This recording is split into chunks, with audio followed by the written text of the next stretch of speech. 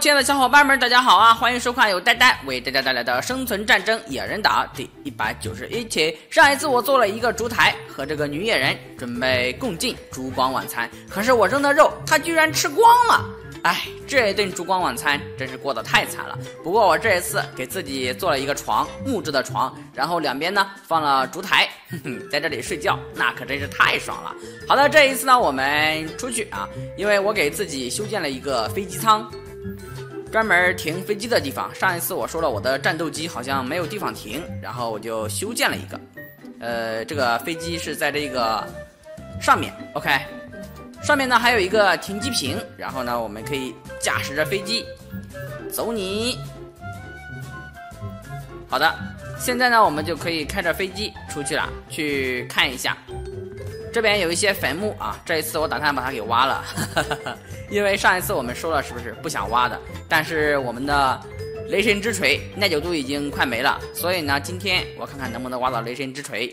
好的，那咱话不多说，直接把这些坟墓啊全部都给它倒了。好的，这个坟墓里面好像并没有什么东西。哎，这个好像有些经验。收了，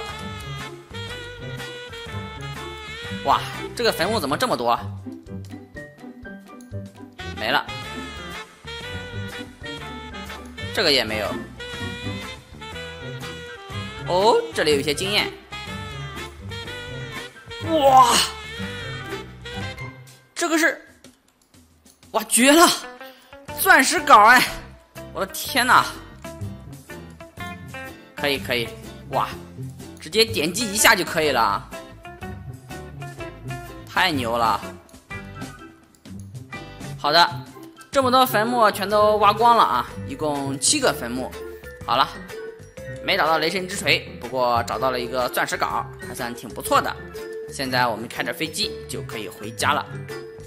这一次呢，我们可以把我们的飞机停在这个机舱里面。停好飞机之后呢，我们可以看一下我这个机舱的门口上面是绿色的灯，这个绿色的灯表示我们的机舱可以正常使用。如果说不能使用的话，我会把它变成红色的。现在呢，我们就是开一下啊。现在呢，我们已经把我们的这个仓库的大门给打开了，然后把我们的飞机给停进去，因为每天都会下雨，这样的话会把我的飞机给吓坏的。好的，这样我就把我的飞机给停进来了啊！这个飞机的动力还是挺强的，我差点都控制不住了。然后这里面还有一个拉杆，我们来点击一下啊，这个仓库的大门就已经关上了，而且里面的灯已经亮起来了。好了，现在呢，我们的任务都已经完成了啊，然后我们从这里上去，就可以直接从这个通道啊就可以回家了。OK，然后再把我的这个大门给关上，完美。现在作为一名飞行员，我已经完成了去挖坟墓的任务。然后我们在这里睡一觉啊。好的，我们在这里已经睡觉了。看来明天的话，我们还是需要去找一下大黄蜂，因为我对大黄蜂有一些期待。